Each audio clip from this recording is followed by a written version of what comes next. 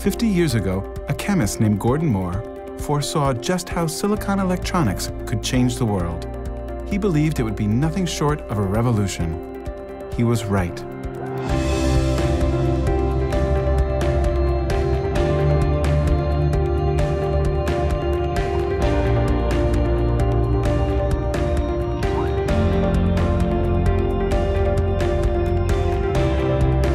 Gordon believed that the ability to make electronics using chemistry would be the key.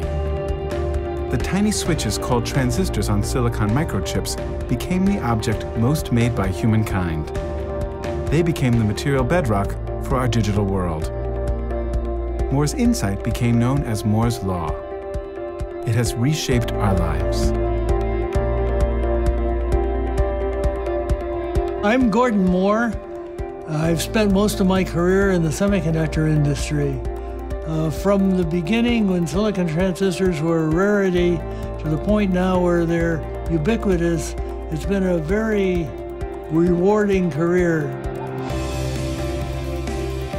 I couldn't think of a better opportunity than the one I had. I've enjoyed every minute of it. This is the story of Moore's Law.